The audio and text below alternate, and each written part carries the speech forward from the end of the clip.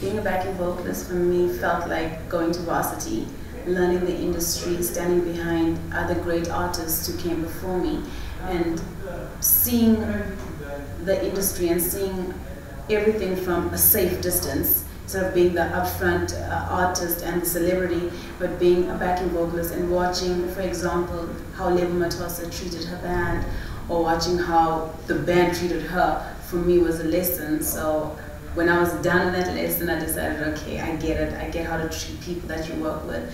It's my turn now to be upfront. So going from there to becoming a solo artist was not hard because I knew that's what I wanted, but I had to work and I had to earn that respect to get to that place.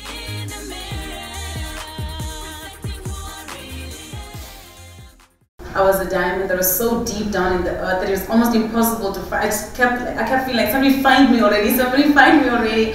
And when I signed to Universal and I worked with Black Coffee, I just felt like I was being found over and over again. I was finally getting to a place where people were appreciating my art and appreciating my voice more than anything. So I named it Black Diamond Black because a black diamond is not so easy to find, first and foremost. Secondly, because I'm black, I'm from Africa, and the ground is the industry for me, and I'm the diamond, and getting me out of the ground and polishing me up is doing the backing vocals and standing in the background watching the industry, and finally I get to shine.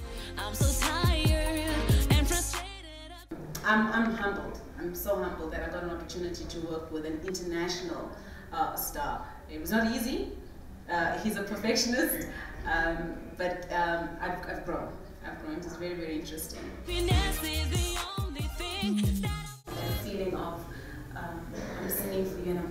happy and how it makes you feel when you hear my song and my message and how it relates to you.